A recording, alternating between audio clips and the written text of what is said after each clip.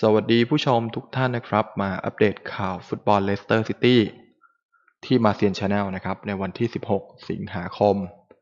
วันนี้มีข่าวอะไรของเลสเตอร์ที่น่าสนใจกันบ้าง ก็มาอัปเดตกันที่นี่ ที่มาเซียน Channel นะครับ เพื่อนๆที่เข้ามาก็ขอสัก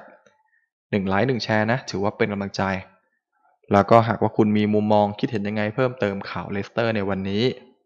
คอมเมนต์ใต้คลิปไปได้ อัปเดตย้อนหลังดูในช่อง ฝากนักเตะที่ฟอร์มดีสถิติดี ผมวิเคราะห์ไปแล้วนะ ราคาไม่แพงดูใต้คลิปได้ หากว่าใครชอบสายแบบวิเคราะห์สถิติดีฟอร์มดี ราคาน่าจะไม่แพง คุณก็ลองเข้าไปดูแล้วก็ถ้าชอบอย่าลืมกดไลค์กดแชร์ ให้กันเพื่อเป็นกำลังใจนะ เริ่มข่าวดีกว่า วันนี้ 16 สิงหาคม ข่าวแรก อันนี้เป็นเสื้อเลสเตอร์ฤดูกาลหน้า 2020-2021 ได้มาจากทวิตเตอร์เลสเตอร์ซิตี้ทางการ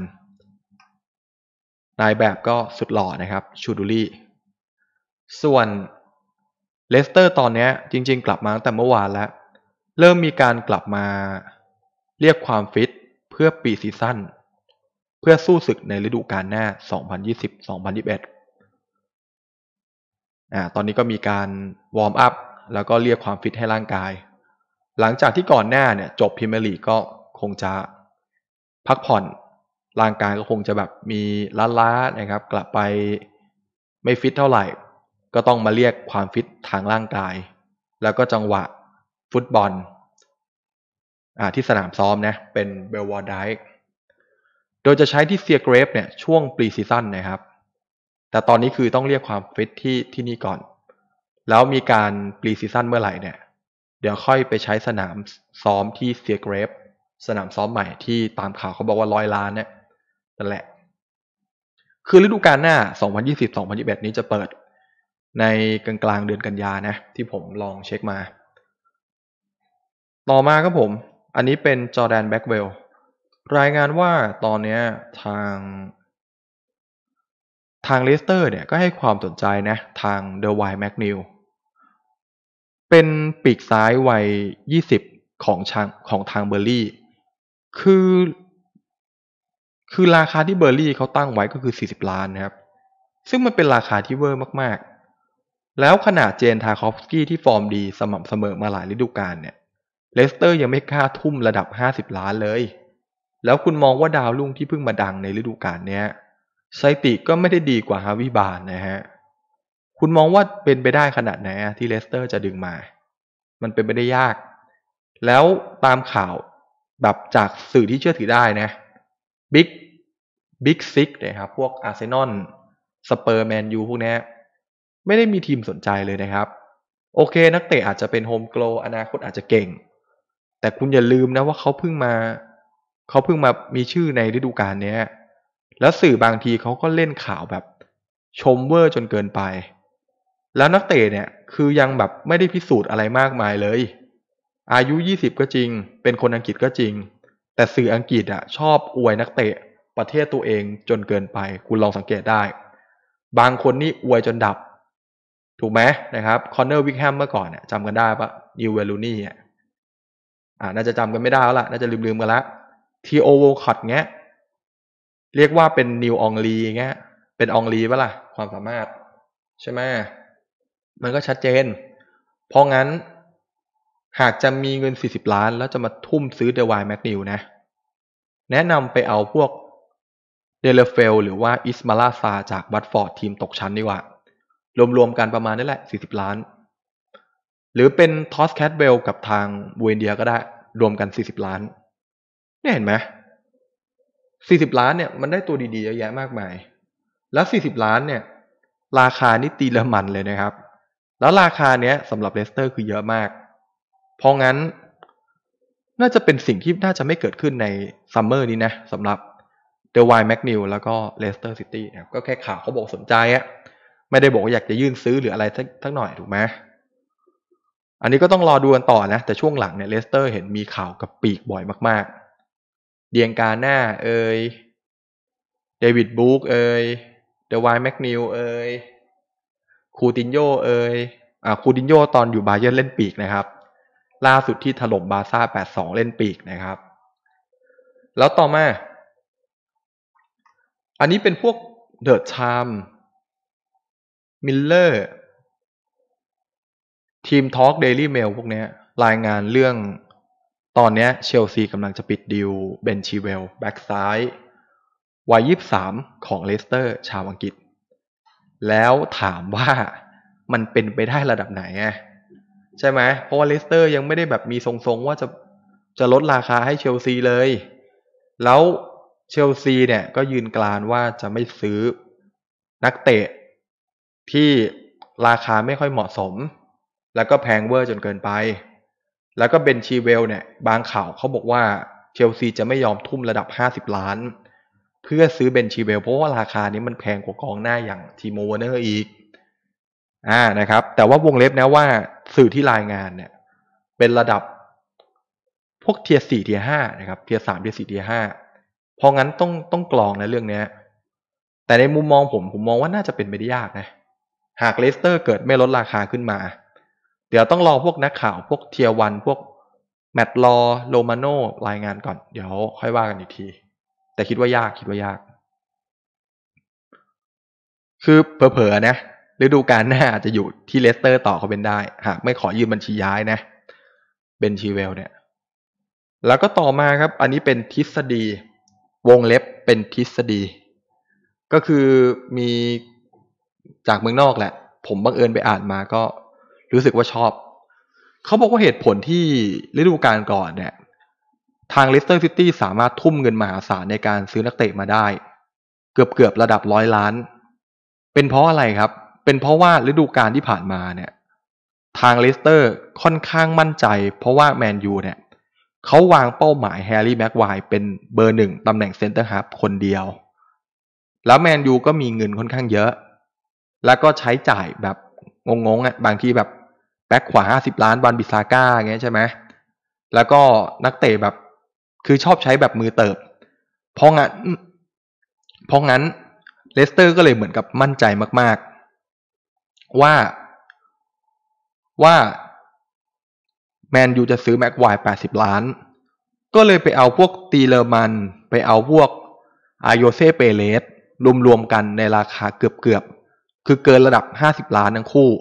คือรวมกันอะเกินห้าสิบล้าน ตีเลอมันส์นี่สี่สิบสี่ล้านยูโร ส่วน สี่สิบสี่ล้านยูโร ส่วนทางอาโยเซเปเรสเนี่ยประมาณสามสิบสามสามสิบสี่ล้านยูโร ซึ่งก็ตีง่ายๆเป็นหลักปอนด์ก็คือประมาณรวมกันประมาณเจ็ดสิบล้านปอนด์แล้วก็รวมนักเตะคนอื่นๆ ราคาเล็กๆน้อยๆเกินแปดสิบเก้าสิบล้านมาหน่อย อ่านะครับ มันก็เลยแบบมันก็เลยบ่งชัดบางอย่างว่า อ๋อฤดูกาลก่อนเนี่ย ที่จ่ายเงินมหาศาลในการทุ่มนักเตะได้เนี่ย ก็เพราะว่าคุณขายแม็กควายนั่นเอง ก็คือเขามั่นใจอะ แต่พอมาเป็นฤดูกาลเนี้ยที่ทำไมถึงซื้อไม่ได้ ก็เพราะว่าเบนชิลเวลล์ เชลซีไม่ได้การันตีว่าจะเอาร้อยเปอร์เซ็นต์อาจจะมองเป็นแบ็กซ้ายเบอร์หนึ่ง แต่จริงๆก็มีพวกตาเกลียฟิโก้ พวกเรกีลอน หรืออเล็กซ์เตลเลสที่มีข่าวว่าเชลซีสนใจ และเชลซีก็เหมือนเหมือนทรงว่า อ๋อ ถ้าหากว่ามันแพงเกินไปเนี่ย อาจจะเบนเป้าไปกับคนอื่น เลสเตอร์ก็เลยเหมือนกับไม่ค่อยกล้าที่จะทุ่มเงินซื้อนักเตะคนอื่นมาก่อน แล้วก็ปล่อยเบนชิลเวลล์อ่านะครับ อันนี้วงเล็บนะว่าเป็นความเห็นของของสื่อนอกนะ ผมบังเอิญผมไปอ่านมา ผมก็เลยชอบนะครับ ผมก็เลยเอามาเล่าให้ฟัง แล้วพอแบบไม่การันตีแบบว่า เอ้ย เบนชิลเวลล์จะโก่งเชลซีสักหกสิบเจ็ดสิบล้าน ไม่การันตีเว้ยมันก็เลยไม่ sure ไง สมมุติว่าแบบไปซื้อนักเตะมาสัก ห้าสิบหกสิบล้านปอนด์เงี้ย แล้วเกิดไม่มีใครย้ายออกจากเลสเตอร์แม้แต่คนเดียว คุณว่าดุลการเงินของเลสเตอร์จะมีปัญหาไหมฤดูกาลหน้าเนี่ย จะมีแฟนบอลเข้ามาชมมาชมทีมได้หรือเปล่าก็ไม่รู้ ของที่ระลึกจะขายออกหรือเปล่าก็ไม่รู้ เสื้อฟุตบอลจะขายออกเพราะเศรษฐกิจหรือเปล่าก็ไม่รู้เลสเตอร์ก็เลยเหมือนกับsave save ด้วยส่วนหนึ่งอ่านะครับมันอาจจะเป็นเหตุผลนะที่ที่บางคนอาจจะบอกเฮ้ยมัน ใช่วะเลสเตอร์ก็รวย แต่คุณดูการกระทำดิ ผ่านมาสองสัปดาห์แล้วตอนเนี้ย ยื่นซื้อใครยังไงฟรานซิสโกตรินเกาที่เชื่อถือได้เนี่ย ยืมนะครับ และยืมเนี่ยไม่ได้ยืมว่าแบบจ่ายค่ายืมยี่สิบสามสิบล้านนะ ต้องการยืมแบบค่ายืมเล็กๆน้อยๆเอง แล้วก็จ่ายแค่ค่าเหนื่อย ถูกไหมอ่านะครับ เพราะงั้นทฤษฎีเนี้ยน่าสนใจมากๆ ผมว่าน่าน่าจะเป็นไปได้นะ เออนะครับ ไม่อยากจะทุ่มเงินผลีผลาม ในการซื้อนักเตะใน summer นี้ และอยากจะรักษาตัวหลักเอาไว้ในทีมให้ได้ครบ อันนี้อาจจะเป็นไปได้นะ แต่วงเล็บนะครับ ถ้าว่าชิลเวลล์อยากจะย้ายเนี่ย จริงๆสี่สิบห้าสิบล้านผมก็ไม่ได้มีปัญหานะ หากเลสเตอร์จะจะปล่อยขึ้นมา เพราะว่ามันเป็นราคาที่ถือว่าเกินคาดแล้ว ถูกไหมจริง ๆ ระดับเบนชิลเวลล์เนี่ยสามสิบห้าล้านสี่สิบล้านเนี่ยมันก็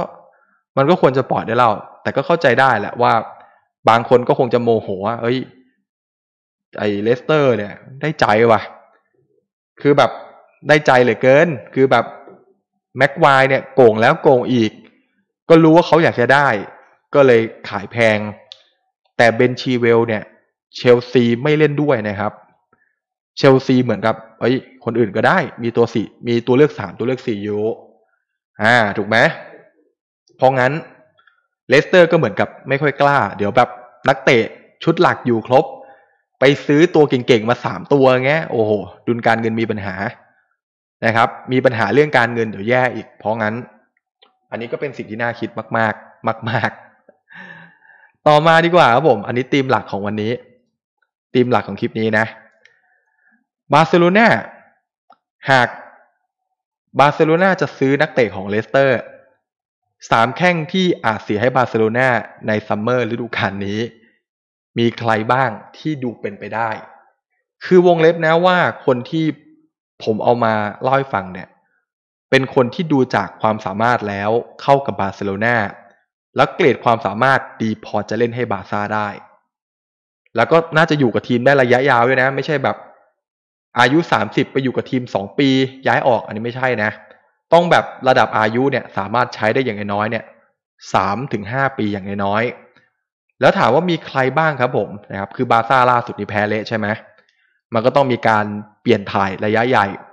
เปลี่ยนถ่ายทีมขุมกำลังชุดใหญ่ แล้วถามว่าเอาเราเลสเตอร์อะมีใครที่พอจะเล่นบาร์ซ่าได้บ้างอะเอาตำแหน่งแบ็คขวากันเลย โดนเผามาล่าสุด อัลฟอนโซเดวีส์ใช่ไหมแบบพาลากเลื้อยเข้าใน assist ห้าสองแล้วคนที่โดนเผาคือใครครับเซเมโดนั่นแหละ ไม่ได้ลงสนามเลยกลับมาจากโควิด เนี่ย ร่างกายพร้อมพอพร้อมตรวจร่างกายด้วยนะ สภาพร่างกายดี เรียกความฟิตมาแล้ว พร้อมตรวจร่างกาย มันก็ไม่แน่นะครับ กันยาตุลาอาจจะมีโอกาสแบบไปเปิดตัวที่ที่บาร์เซโลนาก็เป็นได้ แล้วนักข่าวจากเมอร์คิวรีที่ผมลองเช็คมาเนี่ย ที่เชื่อถือได้เขาบอกว่าเปเรย์ร่าเนี่ย มียูเว่ปารีสบาร์ซ่าสนใจนะ แล้วตอนนี้บาร์ซ่ากำลังจะเฉดเซเมโดออกนะครับ หากจะมีการเฉดออกปั๊บคนที่อยากจะได้อะคุณว่าซิตี้เป็นทีมที่ขายนักเตะกินแม่หากนักเตะไม่งอแงอยากย้ายเนี่ยแบบแบบเลรอยซาเน่เงี้ยแบบโอ้โหไม่อยากย้ายจะจัดขนาดนั้นเนี่ย ยังไงก็ไม่ปล่อยถูกไหมแล้วคุณว่าคันเซโลเนี่ยอยากจะเล่นให้เป๊ปปะล่ะเนี่ยคายวอลเกอร์เนี่ยเริ่มขยับไปเล่นเซนเตอร์บ้างแล้ว ไปเล่นเซนเตอร์สามเซนเตอร์ด้านขวาบ้างแล้วคายวอลเกอร์เริ่มวิ่งขึ้นวิ่งลงตลอดทั้งเกมไม่ไหวแล้วคันเซโลก็มีโอกาสลงตัวจริง แล้วตอนนี้แบ็คขวาตัว top topของโลกในลีกใหญ่อย่างริคาร์โด้เปเรยร่าเนี่ยอยู่เลสเตอร์ แล้วที่ผมลองฟังจาก แหล่งหนึ่งมานะ ไม่ขออ้างอิงแล้วกัน เขาบอกว่าเลสเตอร์ เนี่ย หากจะมีการขายนักเตะ หากปล่อยนักเตะให้ทีมในพรีเมียร์ลีกคู่แข่งเนี่ยจะแพงหน่อย ก็คือจะเวอร์ไปเลย ประมาณเวอร์ไปเลยอะเงี้ยเวอร์ไปเลยอย่างเช่นแม็กไกวร์เงี้ยราคาน่าจะห้าสิบหกสิบล้านก็แปดสิบล้าน แต่ถ้าหากว่าปล่อยให้ทีมในพวกลาลิก้าพวกปารีสหรือทีมจากอิตาลีเงี้ยปล่อยในราคาที่สมเหตุสมผลนะ อาจจะแพงแต่แพงแบบสมเหตุสมผล มีราคาในใจแล้ว แล้วก็ไม่โกงเวอร์เหมือนพวกแม็กไวด้วยอ่านะครับ ไม่งั้นผมว่า ผมว่าลิคาโดเปเรล่าเนี่ยย้ายมา 20 ล้าน อาจจะปล่อยในราคาระดับ 40-50 ล้านก็เป็นได้ แล้วอยู่เลสเตอร์ฟอร์มดีไหมครับคำตอบ แฟนๆเลสเตอร์ริคาร์โด้เปเรยร่าอยู่เลสเตอร์ฟอร์มดีไหมครับ คุณว่าจากสไตล์การเล่นเหมาะจะเล่นให้บาร์เซโลนาไหมครับ ชัดเจนนะครับ ชัดเจน คนนี้ฤดูกาลหน้าเผลอๆนะที่ร็อดเจอร์สบอกว่าอ๋อกลับมาเล่นอีกทีก็คงจะตุลานะครับ ไม่แน่นะ กลับมาอีกทีอาจจะเล่นในบาร์เซโลนาก็ได้ มันก็มองข้ามไม่ได้นะ เรื่องนี้คนแรกผ่านนะครับ ชัดเจน นักเตะอยากเล่นรายการ UCL ครับผม ที่ผมลองเช็คมา ผมบอกกันนะว่าทำใจเสียได้เลยครับผมนะครับพิคาโดโปเรล่าต่อมา เคลาดปีเก้กับอุมตีตี้โดยเฉพาะอุมตีตี้บาร์เซโลนาอยากจะเฉดออกจากทีมอยู่แล้วคำตอบง่ายๆเลยฮะ ต้องหาคนมาแทนนะครับ และปิเก้ก็บอกว่า หากบาร์เซโลนาต้องการจะเปลี่ยนทีมใหม่นะ ยกเครื่องชุดใหญ่นะเขาก็พร้อมที่จะย้ายออกชัดเจนไหมคนแรกอุมติตี้อยากจะอ่าอยากจะเฉดทิ้ง คนที่สองหากบาซ่ากล่าวว่าอยากจะให้ออกก็พร้อมไป ส่วนคนนี้บาร์เซโลนาอยากจะเก็บไว้เคลมองต์ลองเล่ต์ ก็มีโอกาสนะว่า centre half เลสเตอร์อย่างคากลาร์โซยุนชูที่ฟอร์มดีมากๆ เกมรับดีเลยนะครับ เกมรุกพอ build เกมได้ ส่งบอลละเอียดคนนี้อาจจะมีโอกาสได้ย้ายไปอยู่ที่บาร์เซโลนาก็เป็นได้ เพราะเมื่อก่อนเนี่ยบาซ่าเคยให้ความสนใจนะ แต่ตอนนั้นคือนักเตะก็รู้แหละว่าไปบาซ่าก็คงจะแบบ ไปก็คงจะไม่ได้ลง ไม่ได้รับโอกาส โดนปล่อยทิ้ง แน่ๆ ก็เลยไปชุบตัวที่อื่นก่อน แล้วก็มาดังที่เลสเตอร์ในฤดูกาลนี้แล้วตอนนี้บาร์เซโลนาเหมือนให้ความสนใจอีกครั้งหนึ่งมองข้ามไม่ได้นะครับคากลาร์โซยุนชู แล้วโดนใบแดงเกมบอร์นมัธเนี่ยโอ้โหได้พักนานด้วย ได้พักนานด้วยนะครับ หากแบบ เอ้ยแต่ว่า แต่ว่าตามข่าวก็ถือว่าราคาน่าเกลียดมากเลยนะสามสิบสองล้านปอนด์สามสิบหกล้านปอนด์จริง ๆ ระดับโซเยนซูเนี่ย ระดับห้าสิบล้านก็ยังไม่น่าเกลียดเลย ใช่ไหมเจมทาคอฟสกี้ห้าสิบล้านเนี่ยโซเยนซูก็ประมาณนั้นแหละ อ่า ในมุมมองผมนะ ประมาณคือซื้อมายี่สิบล้าน บาซ่าปล่อยสี่สิบล้าน ก็สมเหตุสมผลอยู่นะ อัพ เลสเตอร์ปล่อยสี่สิบล้านก็สมเหตุสมผลอยู่นะ แล้วถามว่าหากเลสเตอร์จะโก่งยันแบบสี่สิบห้าสิบล้านนะมันก็พอได้อยู่ แล้วถามว่าคนนี้สไตล์การเล่นเหมาะกับบาซ่าไหมคำตอบคือเหมาะนะครับอ่านะพองั้นชัดเจนนะ แต่ถ้าถามว่าบาบาซ่าเนี่ย จะทำยังไงดีล่ะ เซนเตอร์สามสิบสี่สิบล้านอย่างโซยุนชูเนี่ยสี่สิบล้านเนี่ย หากเอาอุมติตี้มาแลก ผมบอกตามตรงนะว่าไม่เอานะครับ อยู่บาซ่าก็รั่วอยู่แล้วอะเออ แล้วถ้ามาอยู่ในเลสเตอร์ที่ต้องเล่นเกมรับมากกว่าบาซ่าคุณว่าจะเหลือไหมดีกรีแชมป์โลกบาซ่าต้องการเฉดทิ้งอะคิดดูแล้วกัน ใช่ป่ะพองั้นก็รับเงินอย่างเดียวครับผมนะครับคำตอบผม คนที่สองนะชัดเจน ต่อมา คนที่สามครับผมวูดเกตเนี่ย ยังไงก็ไม่โดนบาร์เซโลนาเฉียดทิ้งอยู่แล้ว มีโอกาสจะอยู่กับบาร์เซโลนาไปอีกอย่างน้อยสองปี หากจะอยู่สองปีเนี่ยก็ต้องมารอดูว่าตัวแทนของบูตเกตเนี่ยจะเป็นใครบุสเก็ตส์เล่นตำแหน่งอะไรครับกลางรับ holding ถูกไหมแล้วถามว่าบุสเก็ตส์ตอนนี้ฝีเท้าเหมือนเดิมปะไม่ละ ฝีเท้าตกแล้ว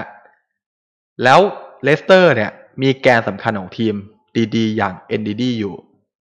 เอ็นดิดี้ เนี่ยโอเคคือมันสมองเรื่อง การเล่นบอลเนี่ย ไม่ได้ดีเท่าบุสเก็ตส์อยู่แล้ว เรื่องการจ่ายบอลไม่ละเอียดเท่า เอ็นดิดี้ ประมาณ 85%ส่วนบูตเกตนี่ประมาณ 94-95%คือคือผมเคยเห็นตัวดีโบเนี่ยบอกว่าบูตเกตเนี่ย เป็นนักเตะที่ตอนซ้อมนี่แทบไม่เสียบอลเลยนะ เป็นนักเตะที่จ่ายบอลเสียยากมาก ๆ มากๆคือชัดเจนมาก แล้วถามว่าเอามันสมองการจ่ายบอลไม่แม่นยำเท่าบูตเกตจะเอามาทำไมอะ เรื่องเกมรับเนี่ย NDD พอปัดกวาดเช็ดถูให้ได้ครับผม แล้ว NDD เล่นกลางสามตวงกลางได้เก่งด้วย แล้วบาร์เซโลนาคุณว่าแฟรงกี้เดยองกับ NDD เนี่ยใครเล่นเกมรับดีกว่ากันนะ ขยับแฟรงกี้เดยองไปเล่นตัวลุกมากขึ้น ดีกว่าไหม เอา NDD มาสกรีนหลังแฟรงกี้เดยองดีกว่าไหม ถูกปะเออนะครับ แล้วราคาเนี่ยที่ซื้อมาประมาณ 20 ล้าน หากเลสเตอร์จะปล่อยก็คงจะระดับ 40-50 ล้านปอนด์ก็มองข้ามไม่ได้ แล้วถามว่าระดับของเอ d ดีเนี่ย ฝีเท้าดีพอจะเล่นให้บาซ่าไหมคำตอบก็คือดีพอนะ แต่ถามว่าจะแบบไปปั๊บเป็นตัวจริงได้เลยไหม ก็คงต้องเป็นตัวสำรองบุสเก็ตส์ไปก่อน คงจะให้บุสเก็ตส์สอนงานสักปีสองปีก่อน แล้วพอเล่นดีขึ้นมา เล่นในระดับที่ใกล้เคียงกับบุสเก็ตส์ขึ้นมา บุสเก็ตส์อาจจะลงไปเป็นตัวสำรอง เอ็นดิดี้ อาจจะขึ้นมาเป็นตัวจริงในอนาคต เอ็นดิดี้ ก็มีโอกาสอีกหนึ่งคนในทีมของเลสเตอร์ ที่บาร์เซโลนาอาจจะดึงไปร่วมทัพก็เป็นได้ อ่าแล้วบางคนบอกเฮ้ยสามคนเลยเหรอเลสเตอร์ แล้วคุณมองว่าสามคนที่ว่ามาเนี้ยที่ผมว่ามาเนี้ยทั้ง เอ็นดิดี้ ทั้งโซยุนชู แล้วก็ริคาร์โด้เปเรยร่าเนี่ย ดูจากสไตล์การเล่นแล้วคุณว่าเหมาะกับแผนบาซ่าไหมแล้วคุณมองว่าเลสเตอร์เป็นทีมใหญ่พอที่จะรั้งนักเตะอยู่ไหมแล้วผสมผสานกับกุนซือที่ชื่อว่าเบรนแดนร็อดเจอร์สที่นักเตะอยากย้ายก็ปล่อย ไม่อยากจะเก็บไม่อยากจะง้อไว้หรอก เนี่ย เมื่อก่อนในอดีตเนี่ย คุณก็รู้อยู่แล้วซัวเรซสเตอร์ลิงเงี้ยอยู่ในมือร็อดเจอร์สอยากอยู่ต่อไหมเมื่อก่อนเป็นซุปตาร์ของทีมลิเวอร์พูลอะ คำตอบก็คือสองคนนี้เลือกย้ายครับผมรั้งไม่ได้ ไม่รั้งด้วยไม่ง้อคำตอบก็ชัดเจนนะครับ ว่าเป็นกุนซือที่หากมีทีมใหญ่กว่า หรือทีมที่พอจะประสบความสำเร็จได้ มาดึงนักเตะไปร่วมทีมในราคาที่เหมาะสมเนี่ยร็อดเจอร์สก็ไม่ได้คิดที่จะขวางในการย้ายทีมอยู่แล้วคำตอบง่ายๆเลยฮะ ก็คือพวก เอ็นดิดี้ โซยุนซู แล้วก็ริคาร์โดเปเรร่าเนี่ย หากบาร์ซ่า ยื่นซื้อขึ้นมา ก็คงมีโอกาสที่จะย้ายไปร่วมทัพได้ไม่ยาก แล้วราคาเนี่ยเลสเตอร์ปล่อยให้ทีมนอกลีกในราคาที่สมเหตุสมผลใช่ไหมรวมๆกันสมมติได้ได้ร้อยยี่สิบล้านเนี่ย ผมว่าเลสเตอร์เอานะร้อยยี่สิบร้อยห้าสิบเนี่ย จริง ๆ ริคาร์โดเปเรร่าเนี่ยประมาณสักหกสิบล้านก็ไม่น่าเกลียดห้าสิบล้านหกสิบล้าน คาร์ล่าเนี่ยประมาณหกสิบล้านก็ไม่น่าเกลียดถูกไหม เอ็นดิดี้ ชั่วโมงเนี้ยหกสิบล้านก็ไม่น่าเกลียดเนี่ยคุณดูดิสามคนนี้รวมกันได้ประมาณร้อยแปดสิบล้านนะแต่ถ้าหากว่าเกิดได้สักร้อยยี่สิบร้อยสามสิบเนี่ยผมว่าก็ก็น่าจะประสบความสำเร็จในธุรกิจของเลสเตอร์ไม่น้อย อืม นะครับ เพื่อนๆ อยากจะเสียไหมคุณคุณคิดว่าเป็นไปได้ไหมสำหรับ เอ็นดิดี้ โซยุนซูแล้วก็เปเรร่า ในการย้ายไปบาร์เซโลนาก็คอมเมนต์มาได้นะฮะส่วนตัวส่วนตัวผมมองว่ามีโอกาสทั้งหมด ทั้งหมด แล้วคนไหนมีโอกาสมากสุดอะผมให้เป็นริคาร์โดเปเรร่าเบอร์หนึ่งนะ อันนี้ผมมองว่ามากสุดด้วย เพราะว่าไม่ได้ลงสนามตั้งแต่กลับมาจากโควิด คือตามข่าวเขาบอกเจ็บใช่ไหมแต่เราก็ไม่รู้ว่าเบื้องลึกเบื้องหลังเป็นยังไง อาจจะเจ็บจริง ๆก็ได้ เออ ส่วนโซยอนซูเนี่ย ก็ชัดเจนนะครับว่าฝีเท้าดีพอจะเล่นทีมใหญ่ ส่วน NDD นี่อาจจะน้อยหน่อย เพราะว่าไม่ได้มีข่าวกับบาซ่าเลยอ่านะครับ เพราะงั้นก็ชัดเจนนะครับตามนั้น จบแล้วนะข่าววันนี้แล้วก็มีการวิเคราะห์สกู๊ปพิเศษเล็กๆน้อยๆเอามาเล่าให้ฟังนะครับ ก่อนจากกันไปอย่าลืม กดไลค์กดแชร์นะครับ กดเยอะๆเป็นกำลังใจ วันนี้มีแต่ข่าวปล่อยนักเตะนะ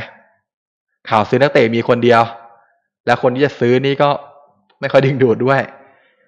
คุณอยากปล่อยคนไหนมากสุดในบรรดาสี่คนเนี่ยผมชีเวลสี่สิบล้านเปเรล่าสี่สิบล้าน โซยันซูสี่สิบล้าน แล้วก็วิวเฟลตเอนดีดีสี่สิบล้านก็คอมเมนต์ใต้คลิปไปได้ โอ้รวมๆกันก็กำไรอันเนี้ยสี่หนึ่งสี่สี่องแปดสี่สามสี่สองสี่สี่สิบหกอุ้ยตั้งร้อยหกสิบล้านเนี่ยใช่ไหม ร้อยหกสิบล้านนี่เอาไปซื้อตัวดีๆได้หลายตัวเนี่ยนะฮะอย่าลืมกดไลค์กดแชร์ ก่อนออกจากคลิปเป็นกำลังใจนะครับ พบกันใหม่คลิปหน้า วันหน้าครับผมนะครับ สวัสดีครับ